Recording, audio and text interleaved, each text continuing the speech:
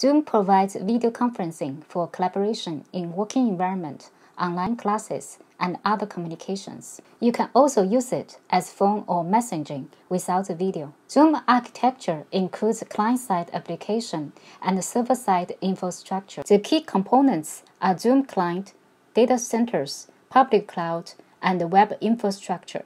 Zoom Client is a software installed on users' computers or devices. After you install it, you can schedule the meeting, log in, and have the meeting sessions. You can also record or share your screen with others in the meeting. Behind the scene, the Zoom Client is a software to let you access the Zoom servers. The client performs the video encoding, which is compressing video and audio data and send to the other side. At the receiving side, the software decodes the data in time.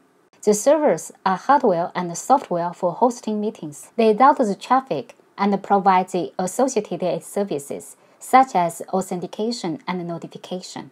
Zoom servers are located in data centers, public cloud, and corporate networks. The data centers are the major places where the Zoom servers are. The servers are organized into meeting zones. Inside each zone, there are multimedia routers, MMR. Multimedia router is for routing and dynamic optimization of stream traffic. There are also zone controllers, ZC. Zone controller is for the management of all activity that occurs within a given meeting zone.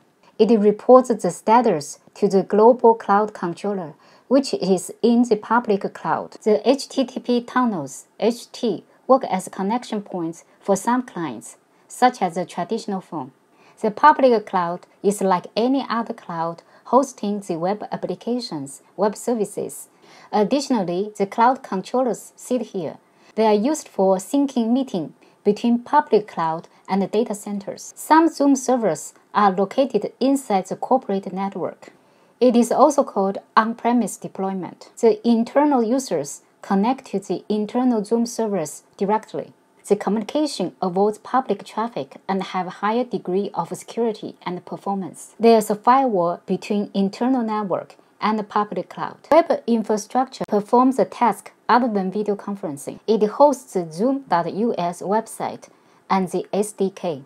SDK is used by the external developers who want to build system around Zoom.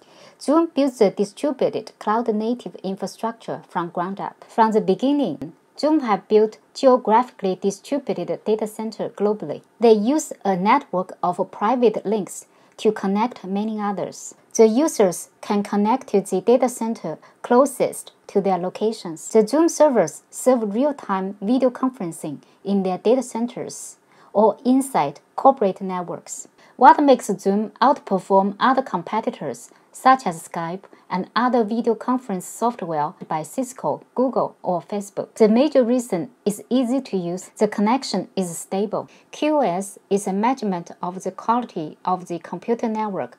Zoom implements QoS in the application layer at the client side. The client software optimizes the video and audio for particular type of these devices. It ensures the performance of the communication. If you are interested in the technical details, please click the link in the description below. That's it for how Zoom works, architecture explained. Please leave your comment below. I'm Vivien. Thank you for watching. Please like, share, and subscribe. I will see you soon.